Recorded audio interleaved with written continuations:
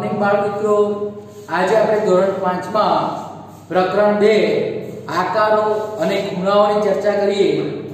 એ ચર્ચા કરતા પહેલા આપણે ભાગ 1 માં આજે કેટલાક આકારોની વાત કરીએ. અહીંયા જે પાઠની શરૂઆત છે, પહેલા આપણે બાળમિત્રો ધોરણ 4 માં પણ તમે કેટલાક નિશ્ચિત આકારો, નિશ્ચિત એટલે કે ચોક્કસ આકારો.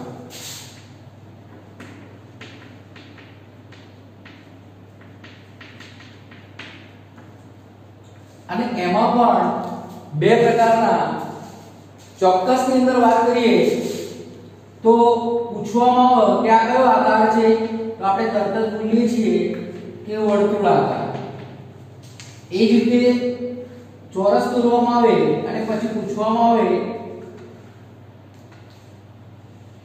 કે આ આકાર કેવો છે, તો ચોરસ. આ આકાર કેવો છે, તો લંબચોરસ. આ સિવાય પણ કેટલાક આકારો એવા છે કે જે નિશ્ચિત છે. એટલે કે ચોક્કસ આકારો જેને આપણે ઓળખીએ છીએ કે આ વર્તુળાકાર છે, આ ચોરસ છે, આ લંબચોરસ છે, એ જ રીતે ચતુષ્કોણ, પંચકોણ, ષષ્કોણ આકાર પણ આપણે લખી શકીએ કે જે આકાર અહીંયા આપણે આપેલો છે, આ રીતના આકાર આપણને આપેલો છે. બરાબર? તો ષષ્ઠકોણ આકાર. પણ કેમ તેને ષષ્કોણ આકાર કહેવામાં આવ્યો તો આકારો કઈ રીતે બને છે તો એ વિશે આપણે માહિતી મેળવવાની છે આ પ્રકરણમાં કે આકારો કેવી રીતે બનાવવામાં આવે છે?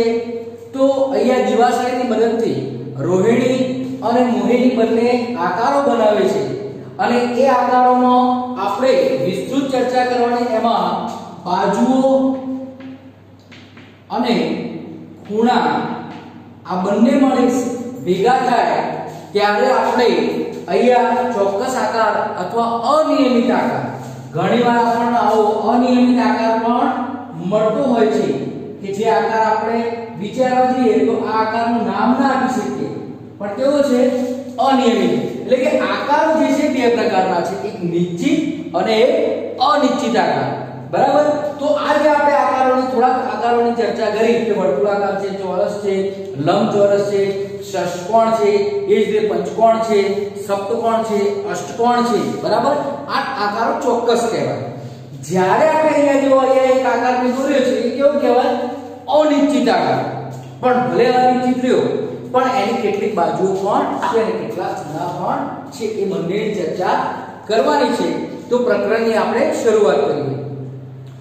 રોહિણી અને મોહિણી બંને જોડિયા બહેનો છે. તેઓએ એક સરખું કામ કરવું ગમે છે. એક દિવસ તેઓ દિવાસળીથી થી આકારો બનાવ બનાવી રહી હતી સેલાએ તેમને એક પડકાર આપ્યો. બંને બહેનો એક એક દિવસે દિવાસળીની પેટી લીધી અને દિવાસળીથી એક સરખા આકારો બનાવવાની રમત રમી રહ્યા હતા. રોહિણી આકૃતિ બનાવશે. મોહિણી તેને જોયા વગર એ જ આકૃતિ, એટલે કે અહીંયા રોહિણી આકાર બનાવે છે અને એ જ આકૃતિ કોને બનાવવાની છે? મોહિનીને બનાવ. પણ જોવાની નથી. જે આકૃતિ અહીંયા સહેલાએ પડકાર કે જો તમારે બંને બહેનોને આકાર બનાવવાનો છે દિવાસળીથી પણ એકબીજાનો આકાર જોવાનો નથી. તો સૌથી પહેલા રોહિણી આકાર બનાવે છે. ત્યારબાદ એટલી જ દિવાસળી મોહિનીને આપવામાં આવે છે. મોહિની પણ આકાર બનાવે છે. પણ બંનેનો આકાર એકબીજાને જોતા નથી. ચિત્રમાં તમે જોઈ શકો છો બંને એકબીજાના વિરુદ્ધ દિશામાં મુખ રાખી અને આ બેસીને આકારો બનાવતા બતાવે છે. તો બંને જોયા વગર આકારો બનાવ્યા, તો અહીંયા આપણે કહી શકીએ કે જો રોહિણીએ આકાર બનાવ્યો. મોહિનીથી આકૃતિ બંધ છે કે ખુલ્લી? તો અહીંયા પ્રશ્ન પૂછ્યો છે રોહિણી. મોહિનીએ આકૃતિ બનાવી એટલે રોહિણીને પૂછવામાં આવ્યું કે આકૃતિ બંધ છે કે ખુલ્લી? તો અહીંયા આપણે વાત કરી શકીએ કે આકૃતિ કેવી છે? બંધ છે. આ આકૃતિ કેવી છે? બંધ છે. કેમ બંધ છે? તો ઘણીવાર આપણે ચોરસની આકૃતિ આ રીતે એક છેડો ખુલ્લો હોય. તો આકૃતિ કેવી કહેવાય? ખુલ્લી છે. કોઈ પણ છેડો જોડાયેલો ન હોય ખૂણા ઉપર. તો તે આકૃતિને ખુલ્લો છેડો કહી શકાય. તો અહીંયા આપણે બંધ આકૃતિ છે ચરમોઈની તેમાં કેટલી બાજુઓ છે? તો અહીંયા આપણે ખાસ મહત્વની બાબતની વાત કરવાની છે કે અહીંયા આકૃતિ તો છે, પણ કેટલી બાજુઓ છે? અને એની આપણે ખાસ ચર્ચા કરીએ તો તમને ખ્યાલ આવશે, તો જે રોહિણીએ આકૃતિ બનાવી ફરી બનાવીએ, તો આ એક સાઈડ દિવાસળી લીધી. તો એ આ એક બાજુ, આ બીજી દિવાસળી લીધી, બીજી બાજુ ત્રીજી દિવાસળી લીધી, ત્રીજી બાજુ, આ ચોથી દિવાસળી લીધી, તો ચોથી બાજુ, આ પાંચમી દિવાસળી લીધી, તો પાંચમી બાજુ અને આ છઠ્ઠી દિવાસળી લીધી, તો છઠ્ઠી બાજુ. તો બાજુઓ કેટલી થઈ? 1 2 3 4 5 અને 6 બાજુ. તો અહીંયા લખી છે કે આકૃતિમાં કેટલી બાજુઓ છે? 6 બાજુ. બરાબર? હવે વાત શું કરી છે? ચલો તેમાં કેટલી બાજુઓ છે? તો 6 તો એ જ રીતે આપણે કોની આકૃતિની ચર્ચા કરીએ? મોહિનીની. તો મોહિનીની આકૃતિની કેટલી બાજુઓ છે? 1 2 3 4 5 અને 6 કેમ? કે બંને એક સરખી આકૃતિ બનાવવાની હતી. માટે અહીંયા વાત કરીએ આપણે, તો બંનેની આકૃતિની દિવાસળી સરખી છે. બાજુઓ પણ સરખી છે. પણ બંનેની આકૃતિ કેવી છે? જુદી છે. તે બંધ આકાર છે? તો હા. ચલો, આ આકૃતિ કેવી છે? છ બાજુની. તો બંધ છે. બંધ છે કે ખુલ્લી? તો બંધ. ચલો, આ આકૃતિ કેવી છે? બંધ છે કે ખુલ્લી? તો બંધ. તો હા અથવા નામાં પણ આપણે જવાબ આપી જો બંધ પૂછ્યું હોય, એમ એમ પૂછે કે બંધ છે કે ખુલ્લી? તો બંધ હોય તો બંધ અને ખુલ્લી હોય તો ખુલ્લી. એમ પૂછે, આ આકૃતિ બંધ છે? તો હા કે નામાં પણ જવાબ આપવાનો હોય. તમને જેવી રીતના પ્રશ્ન પૂછવામાં આવે, ધારો કે અહીંયા ઉદાહરણ તરીકે લઈ શકાય.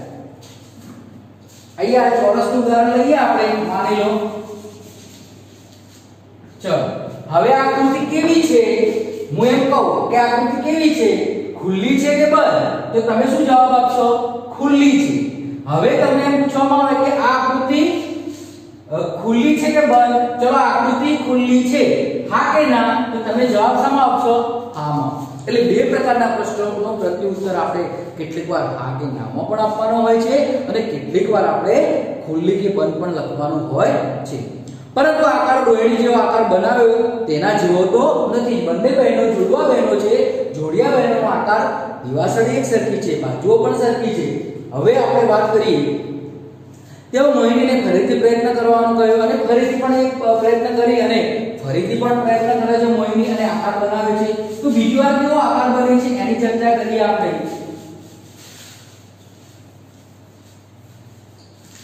બીજી વાર જે આકૃતિ બનાવે છે એ કંઈક આર્કના બનાવે છે. તમે જોઈ શકો છો ચિત્રમાં. તો અહીંયા પણ કેવી આકૃતિ બની? તમે જોઈ શકો બાજુ 1 2 3 4 5 અને 6 અહીંયા પણ છ બાજુઓની આકૃતિ બનાવી, છ દિવાસળી હવે વાત કરીએ કે છ બાજુવાળી બંધ આકૃતિ છે તો પુસ્તકમાં લખીશું, હા, તે છ બાજુવાળી બંધ આકૃતિ છે. તો ખાલી જગ્યાઓ પણ તમારે પૂરવાની છે. બરાબર? તે આકાર રોહિણી જેવો જ બનાવ્યો છે, રોહિણી જેવો જ બનાવ્યો છે. તો લખીશું, ના.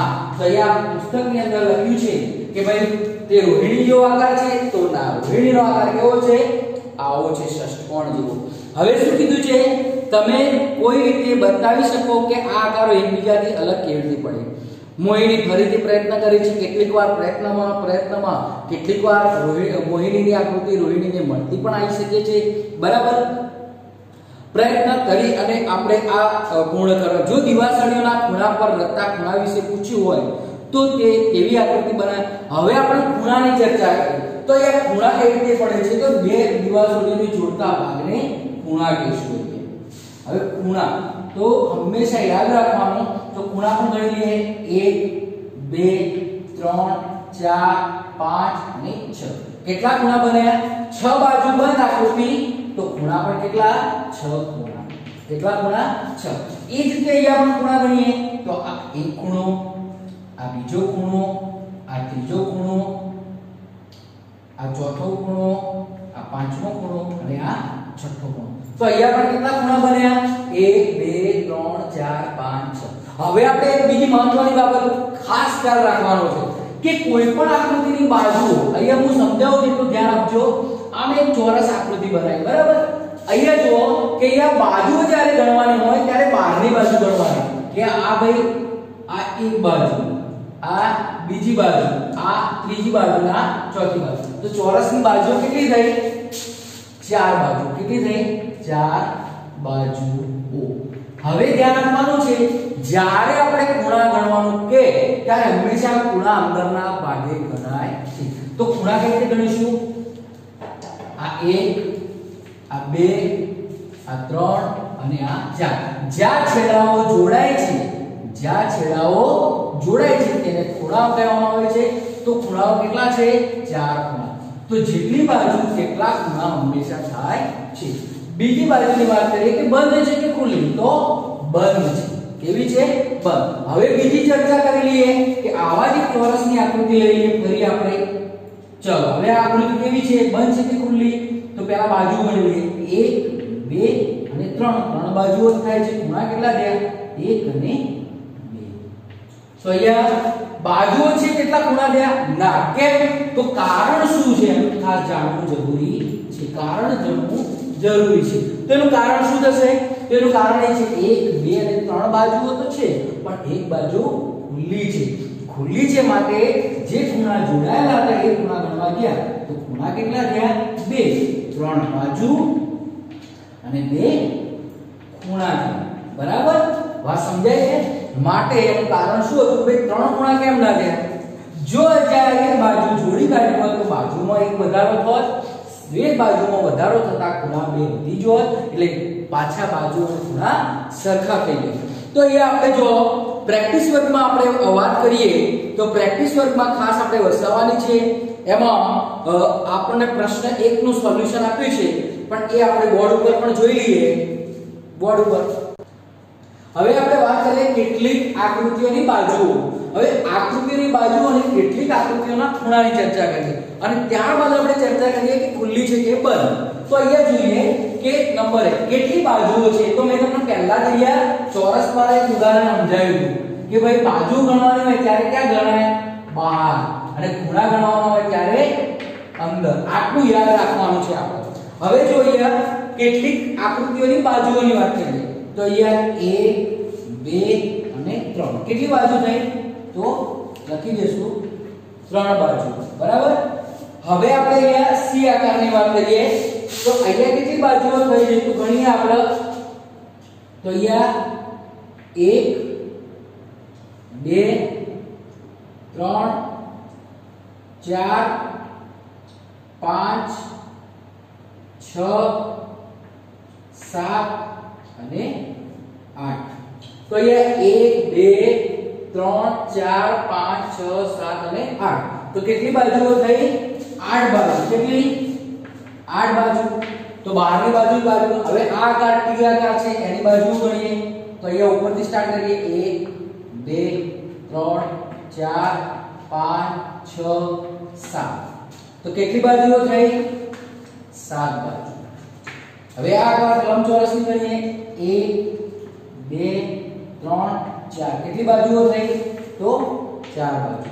આમ આપણે પ્રેક્ટિસ વર્ગમાં આપેલું છે કે ભાઈ નીચે આપેલી આકૃતિઓની બાજુઓ ગણો. તો આપણે ઘણી બધી આકૃતિઓની બાજુઓ આપણે ગણી શકીએ છીએ. હવે પ્રશ્ન એવો પણ આવે કે કયા હું આકૃતિ અહીંયા વચ્ચોવચ્ચ દોરું છું કે આ આકૃતિની બાજુઓ ગણો. બરાબર? હવે ધ્યાન આપજો. ચલો. આ મેં ખુલ્લી આકૃતિ દોરી છે તો એની એક બે અને કેટલી બાજુ છે ત્રણ બાજુ કેમ તો ખુલ્લી આકૃતિ છે એટલા માટે હવે કેટલાક આકૃતિના ખૂણા તો ખૂણાઓ મેં સમજાય ખૂણા હંમેશા ક્યાં ગણવા અંદરના બાજુ તો અહીંયા આપણે ગણીએ એક બે ને ત્રણ કેટલા ખૂણા રહ્યા ત્રણ ખૂણા અહીંયા ગણીએ એક બે ત્રણ ચાર પાંચ છ સાત આઠ તો અહીંયા અષ્ટકોણ છે આઠ ખૂણા છે માટે આ ત્રણ ખૂણા ત્રિકોણ અષ્ટકોણ કેટલીક આપણે આકૃતિઓ અગાઉ ભણી ગયા છે અને આપણને ખ્યાલ છે તો કેટલા ખૂણા છે આઠ ખૂણા હવે અહીંયા આપણે ખૂણા ગણીએ તો આ એક આ બે આ ત્રણ આ બારની બાજુ પણ ખૂણો બને છે એટલે બારનો ખૂણો પણ ગણીશું બે ત્રણ ચાર અને પાંચ તો કેટલા ખૂણા થયા પાંચ ખૂણા અહીંયા આપણે ખુલ્લી આકૃતિ છે, તો ખુલ્લી આકૃતિના ખૂણા એક અને બે. એક અને બે. તો બે ખૂણા અહીંયા આકૃતિ બંધ છે કે ખુલ્લી? બંધ છે, છતાં પણ પાંચ ખૂણા થાય છે. તો બાજુઓ પણ કેટલી થાય છે? એક, બે, ત્રણ, ચાર અને પાંચ. બરાબર? હવે આપણે ચર્ચા કરવાની છે સામે. તો આકૃતિ બંધ છે કે ખુલ્લી? તેની આપણે ચર્ચા કરીએ. હવે બાળ મિત્રો, આપણે વાત કરીએ કે કેટલીક આકૃતિ બંધ છે કે ખુલ્લી. તો અહીંયા પહેલી આકૃતિ જો તો એના બધા જ ખૂણા જોડાયેલા છે, બાજુઓ જોડાયેલી એટલે આકૃતિ કેવી છે? બંધ છે. હવે અહીંયા વર્તુળ તો વર્તુળ તો બંધ છે. ખુલ્લું નથી, એટલે આકૃતિ કેવી આવશે? બંધ છે. પણ અહીંયા ચોરસનો એક ભાગ આપણે હવે બાળમિત્રો કેટલીક આકૃતિ બંધ છે કે ખુલ્લી તે જોઈએ. તો અહીંયા ચોરસની ત્રણેય બાજુઓ જોડાય, ત્રિકોણની ત્રણેય બાજુઓ જોડાયેલી છે, બરાબર? તો અહીંયા બંધ આકૃતિ છે વર્તુળ છે આખું જોડાયેલું છે, તો બંધ આકૃતિ છે અહીંયા ચોરસમાં જુઓ કે એક બાજુ આપેલી નથી, ખુલ્લી છે. માટે આકૃતિને કહી દેશું ખુલ્લી કહેશું. અહીંયા આકૃતિ જોઈ શકશો, આમ કરીને આમ કરીને પણ ખુલ્લી છે. તો આપણે ક્યાંય જોડાયેલી નથી, એટલે શું લખીશું? ખુલ્લી. આ જોડાયેલી છે, ક્યાંય પણ એક પણ ખૂણો કે કોઈ ભાગ ખુલ્લો છે નહીં. એટલે કેવી કહેવાય? બંધ કહીશું. આકૃતિ પણ તમે જોઈ શકશો. બંધ છે ખુલ્લી, તો સરળતાથી જવાબ આપી કે બંધ છે, આ કેવી છે, તો ખુલ્લી છે. બરાબર? આ કેવી છે? ખુલ્લી છે.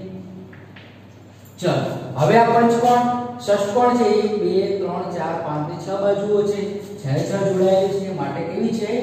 બંધ છે. અને ત્યારબાદ તારા માછલી જો આકાર દેખાય તમને એક ભાગ ખુલ્લો છે અહીંયા, માટે તે આકૃતિ કેવી આવશે? ખુલ્લી આવશે.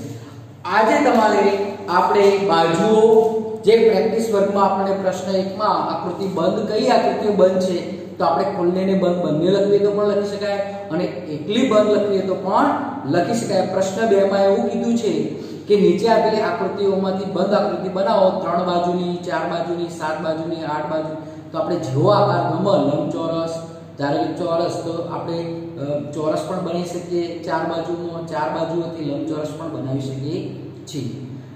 અષ્ટકોણ આઠ બાજુનો અષ્ટકોણ, છ બાજુનો ષષ્ટકોણ દોરી શકીએ ત્રિકોણ ત્રણ બાજુઓનો દોરી શકીએ બરાબર? ત્યારબાદ આકૃતિઓની કેટલી બાજુઓ છે તે ગણો તો પણ પ્રશ્ન ત્રણમાં આવડવું જોઈએ. અને ત્યારબાદ ખૂણાઓ, તો ખૂણાઓની સંખ્યા લખવાની છે. કેટલા અંશના ખૂણા છે એ આપણે નેક્સ્ટ ભાગમાં, એટલે ભાગ 2 માં આપણે દિવાસળીની મદદથી બનતા ખૂણા અને ખૂણાના પ્રકારો અને કેટલા અંશના ખૂણા હોય છે તેની આપણે ચર્ચા કરીશું.